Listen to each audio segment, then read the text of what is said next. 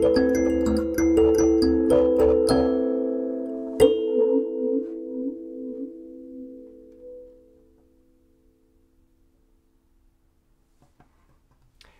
back to World Drum Club. I'm Kalani, your host and teacher, and this lesson is about this unique imbira, kalimba, kalren, sansula. Uh, this is actually called the sansula. It's a type of kalimba. And uh, as you can see, it's got a wooden frame and it's got a drum skin, drum head, and then on that is mounted the actual little kalimba unit and it's got um, a wood block in the back to provide some weight. And then on the top the the tines here or um, the keys with uh, a beautiful tuning Kal-Ren is called the tuning I'll leave a link below to this if you want to check it out so what I'm going to show you uh, are a few ways that you can play this instrument and you can get some different sounds out of it. You've already seen a few, but I'll break it down. So the first way is to just hold it in your, in your hands like this and play with your thumbs.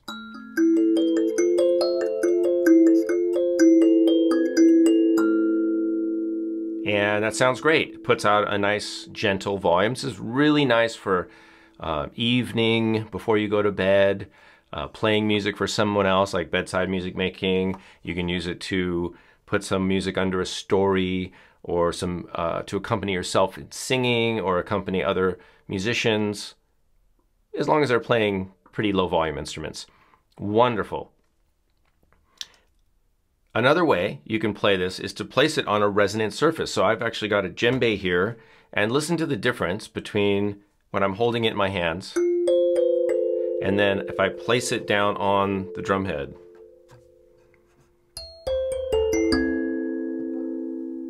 even if I touch a tabletop or anything that can vibrate, even if I just touch a corner, it gets a lot louder. Here it is again.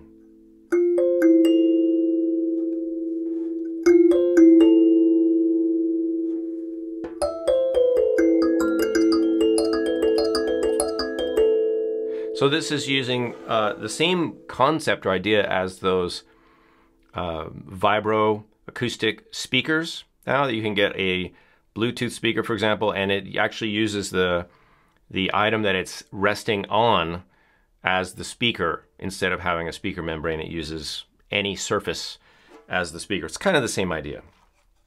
One more thing that I think is a really cool effect. Well, two things. One is that you can you can press it on a surface and it will get louder. It'll use that as a resonant membrane. But then you can also just set it down and let it vibrate a little bit. And in that way, we actually emulate more of a traditional mbira sound, which has traditionally some little shells or bottle caps or something that will make a vibration sound, a buzzing sound. And that's part of the instrument sound. So we can have kind of a callback to that if we just let it vibrate on the surface.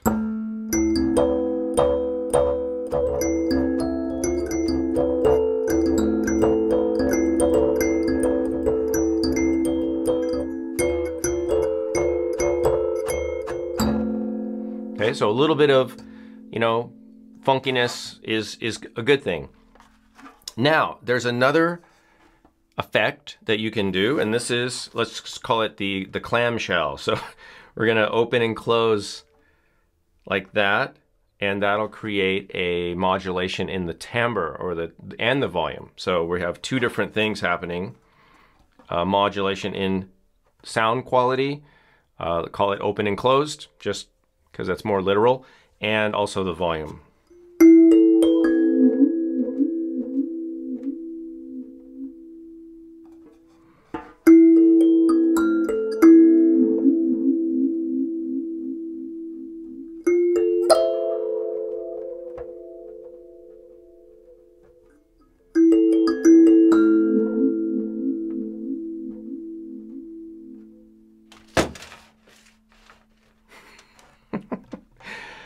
And that was my audio recorder slipping out of its stand, and that's okay.